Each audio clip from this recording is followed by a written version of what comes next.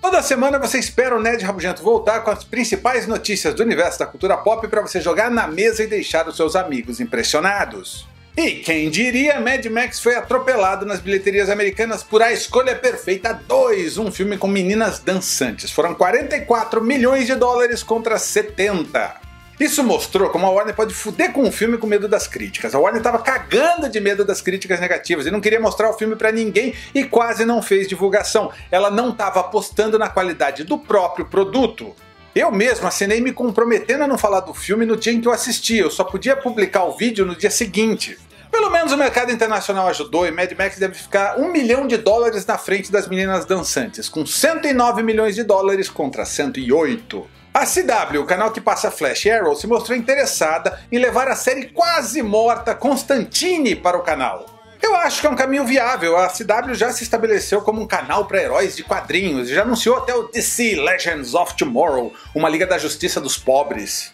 Agora todo canal quer ter a sua série de heróis. A Fox tem Gotham, a CBS vai ter Supergirl, que já tem um trailer de 6 minutos apresentado na semana passada, e a TNT negocia com a Kiva Goldsman, um produtor aí de televisão, para fazer uma série nova dos Novos Titãs.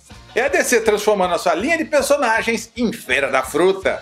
Preacher pode ser a nossa última esperança de ver uma série de TV boa, inspirada na linha Vértigo de quadrinhos adultos da DC.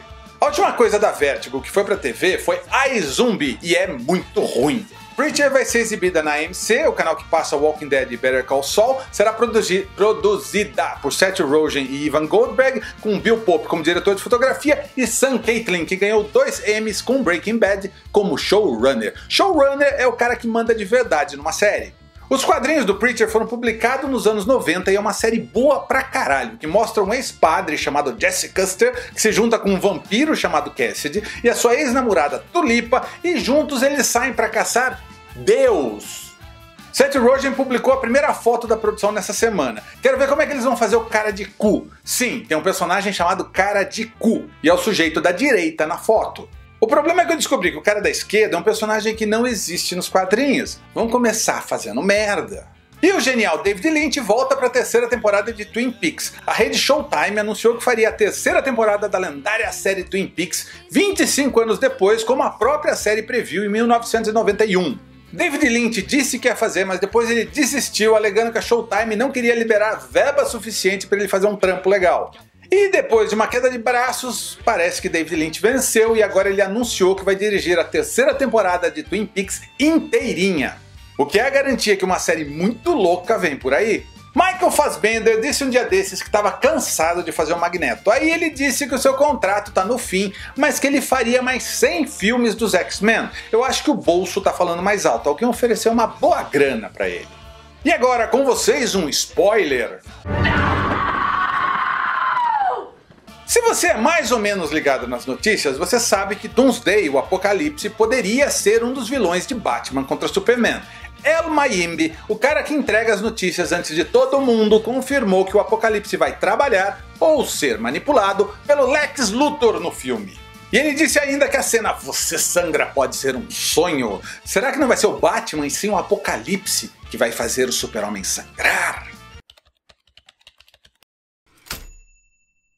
Será que o Superman vai morrer em Batman contra Superman? Deixe a sua opinião nos comentários e visite a NSFW Not Safe for Work, camisetas nerds feitas por nerds para nerds. Pera aí, pera aí, antes que você clique para sair desse vídeo, eu aposto 10 reais que a maioria de vocês não sabe que sempre tem uma cena pós-crédito nos vídeos do Nerd Rabugento. Então inscreva-se no canal do Nerd Rabugento, siga o Casterzano no Twitter, curta a fanpage do Nerd Rabugento no Facebook e seja meu patrão.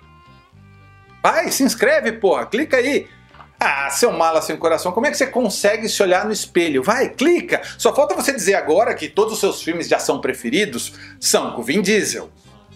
Nessa semana saiu um teaser lindão de Hitman Agent 47, fazendo uma brincadeira com a abertura da série Mad Men. Hitman, para quem não sabe, é um game cheio de tiros e mortes que a molecada adora. O histórico de games que viram filmes ruins é infinito. Eu não me lembro de um único bom filme baseado em games. Se você se lembrar de algum, deixa um comentário. O próprio Hitman já tinha virado filme em 2007 e eu vi essa merda no cinema. Tão ruim, mas tão ruim, que ninguém tem nem ideia de que esse filme existe. A Netflix foi lá quando ninguém acreditava, lançou um canal de streaming na raça e hoje tem mais assinantes que a HBO. Aí surgiram vários outros, como o Hulu e o Crackle, e finalmente a HBO lançou o HBO Now, não confundir com o HBO Go. Agora a Disney estuda lançar um serviço de streaming dedicado ao conteúdo Marvel e Star Wars. Você acha que a Disney tem conteúdo bastante para lançar um serviço só com o conteúdo dos heróis da Marvel e do universo Star Wars?